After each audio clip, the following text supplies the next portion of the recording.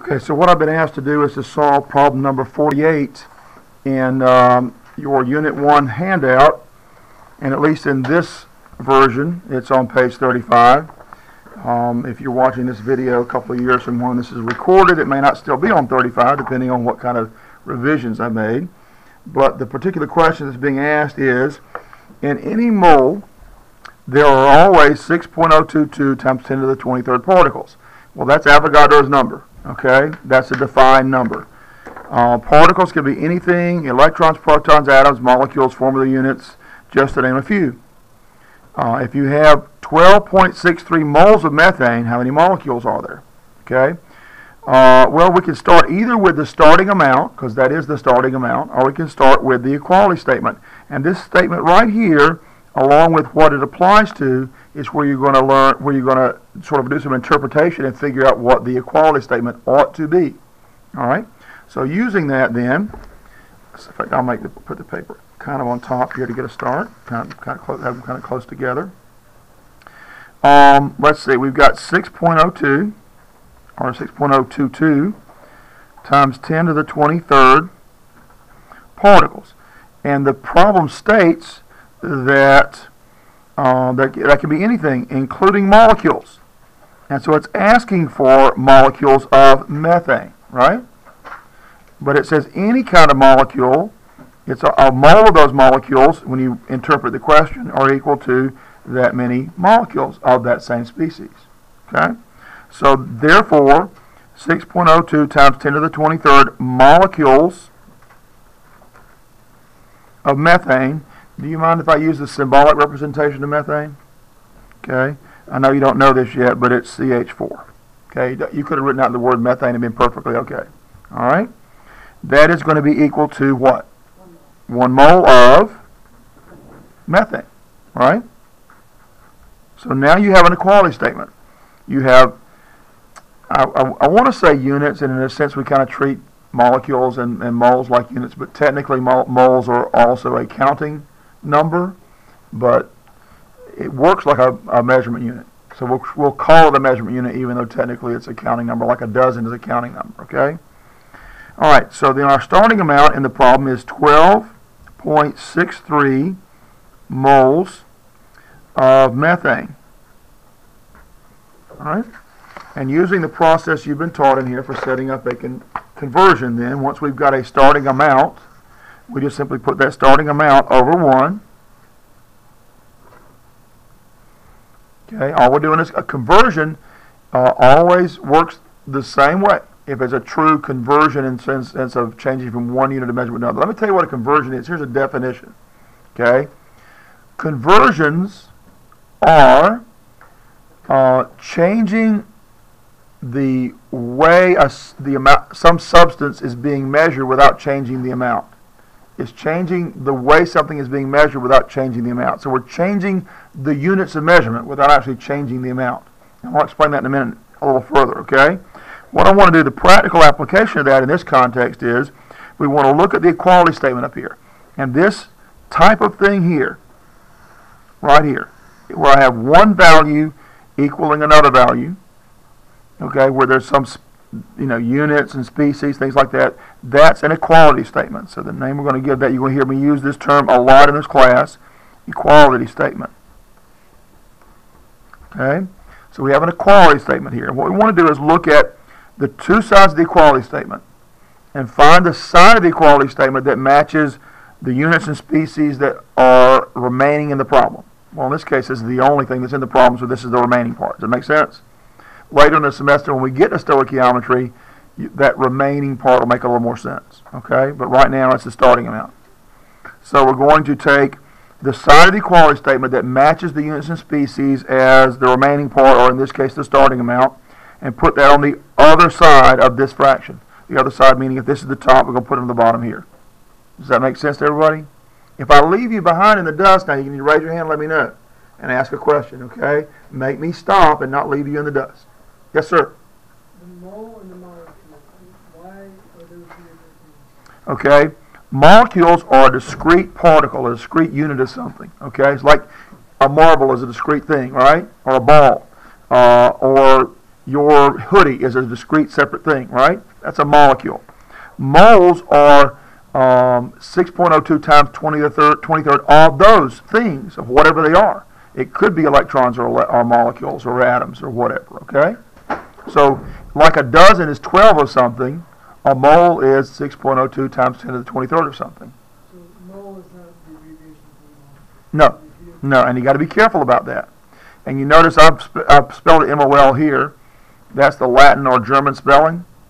Um, the way we spell it in the United States is M-O-L-E, but we kind of, most chemists shorthanded M-O-L. Okay? So that's why I did it that way. So now what I want to do is to put that side of the equality statement that matches this unit and species here and put it in the bottom here. So we'll take one mole of methane and put it down here. Okay? Then I'm going to take the other side of the equality statement and put it on the top.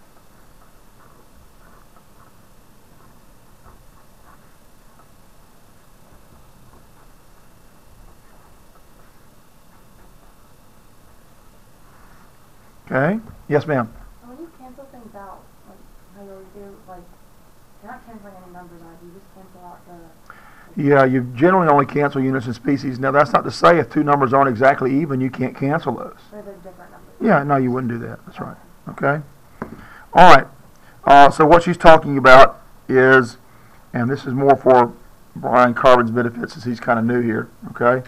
That if I have something like this, Brian, I have x times y over x, what's the answer? Yeah, y, because the two x's cancel. But we can also cancel units of- measurement and species in the same way. Okay? All right, and then now we just have to solve the answer. We take this number and multiply with that number, okay? But now before we do that, before we actually do the math, let me just draw your attention to something really quickly. If I haven't done it, if I've done this before, forgive me, but I think I, I don't think I've covered this class. Would everybody agree that 2 equals 2? Okay? So when I put 2 over 2 in a fraction, what's that equal to? 1. And if I have a dozen of something, what's that equal to? 12. And if I put a dozen then over 12, what's that equal to? Okay. Well, because two things are equal like this up here, if I put it in a fraction, what is that fraction equal to? 1. So what we're doing is we're multiplying the starting amount by 1. But we're doing it in a way, so multiplying by 1 doesn't change the amount, right?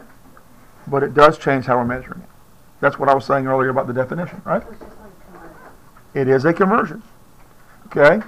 But I'm having you do it this way because when we get into about unit 5 or 6 in here, we're going to be doing problems that you're going to have to turn sideways on the paper and fill up the whole row with these conversions. And you'll be able to do it. But what you want to do is get really good at this part of it right now so you know what's going on. Will we have any practice sheets, I think? Huh? Will we be given any practice sheets? Oh, yeah, lots of practice. Okay?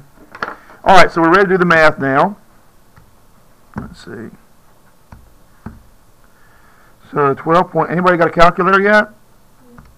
So you might want to help practice with me.